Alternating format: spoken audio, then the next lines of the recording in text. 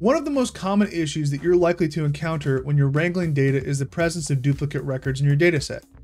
Now, while you can check for the presence of duplicate records when you first start working with a dataset, I generally find that it's most efficient and effective to wait until I've cleaned my dataset as much as possible and removed any unwanted columns or rows. This is because it's possible that duplicate records actually get created when you're adding missing record values, fixing inconsistent value formats, or removing any unwanted columns.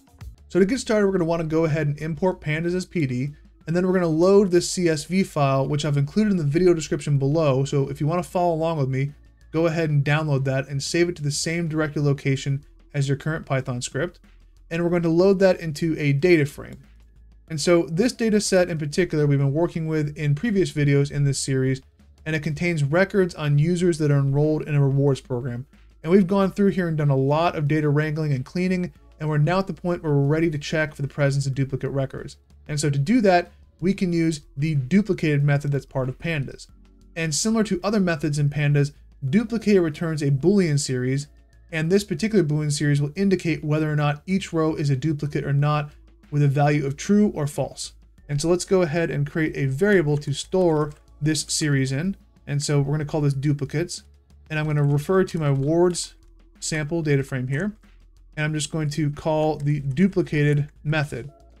And what that's going to do is going to create that series. And let's go ahead and visualize it. And so we can see here that there are some duplicate values in there. It's showing us the first five and the final five records in this data frame. And so there are some duplicates present. How many? We're not sure. So to get a count of how many duplicates we actually have, we can call this series sum method here and it looks like we have nine duplicates currently in our data set. So to remove the duplicate rows, we can now use the drop duplicates method here, which is part of pandas.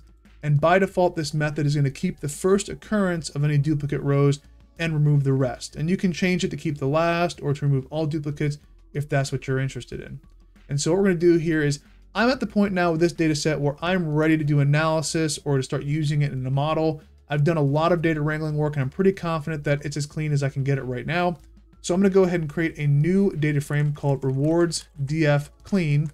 And I'm going to set that equal to my rewards df sample. And then I'm going to call this drop duplicates method.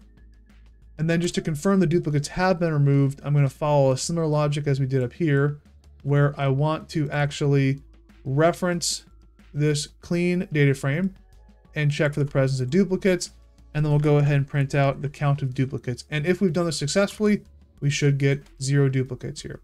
Now, if you have worked with the data set to the point where you're ready to export it, you can export it to a CSV file very easily using the to CSV function that's part of pandas. And so you're just going to want to reference the data frame that you want to export. And this is a method that you're going to use a lot. So it's just to underscore CSV and then you just give it a file name. And so in this case, I'm going to call this clean rewards data. And you want to make sure that you actually give it the correct file extension of .csv. Now, by default, this is going to save this to the same directory of your current Python script. If you want to save it someplace else, you just need to give the full file extension right there. Now, what if you want to remove duplicates based on a specific column's values? So this is very useful if you want to remove duplicates based on values in a specific column rather than an entire row. And so let's look at a small sample data set here that I've created with some duplicates within columns. And so here we have just two columns, A and B, and you can see there are actually duplicates of values 2 and 3 and also 1 in column B there.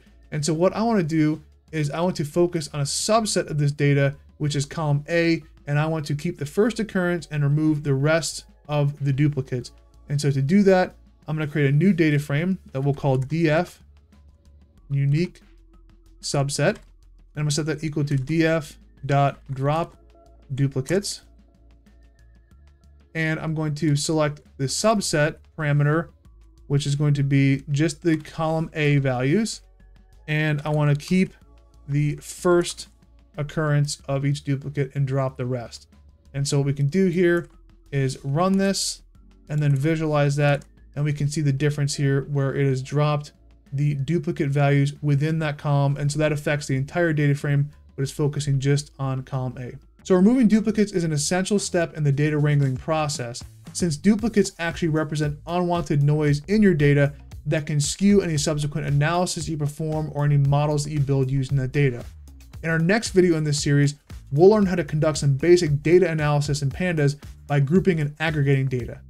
As always, if you've enjoyed this video, hit that like button, subscribe, and click that bell so you don't miss out on any future videos.